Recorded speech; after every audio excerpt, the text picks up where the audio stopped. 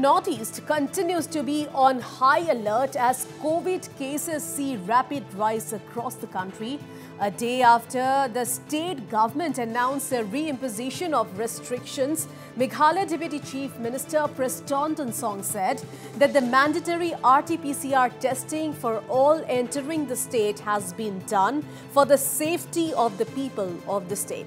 The Meghalaya Deputy Chief Minister said that the decision for mandatory testing for both vaccinated and unvaccinated persons was being taken to screen coming people, uh, people coming from red zones across the country.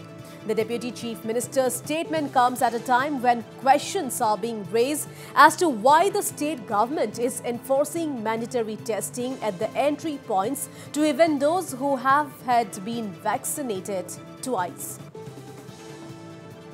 irrespective of whether vaccinated or not vaccinated, because people coming from those uh, red or hot places like uh, Delhi or Mumbai or uh, few more uh, places which is uh, the infection uh, rate is very high, we said please, please go for RT-PCR test.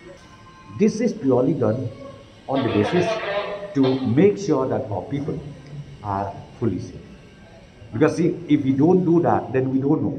Because see, it's not necessary that because you already vaccinated, you did not get any infection. But infection is still there.